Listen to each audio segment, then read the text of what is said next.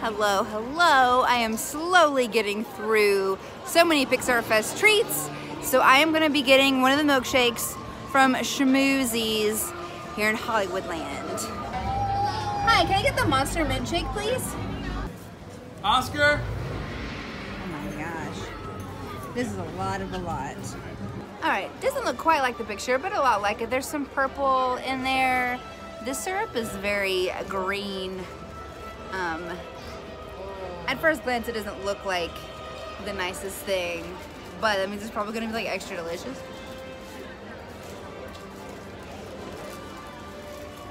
Mmm. It tastes like a Girl Scout cookie. It's like thin mint in a shake. That is really nice. It's so minty. Sarah's gotta try it. And if I'm Sarah's, you can try it.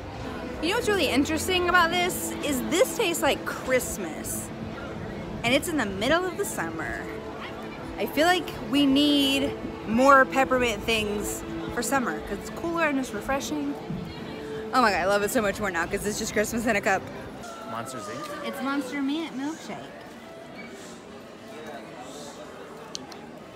It's very minty. I like chocolate, uh, mint chocolate chip. That's what it reminds me of. It's just very colorful. Does it taste like Christmas? Oh, yeah. I love it.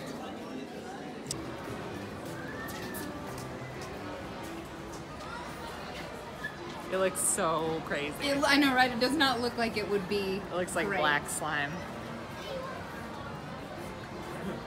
It's just what I hoped it would be like. Delicious. It tastes like Dreyer's mint chip ice cream in a smoothie, or like Baskin Robbins mint chip ice cream smoothies. I've never had it. Real good. But the chips are like nice, you know. I love it. 10 out of 10. How long is it available for, Sarah? September 12th. Nope, the third. Okay. Pixar Fest exclusive. You, Do you have deodorant? you almost no.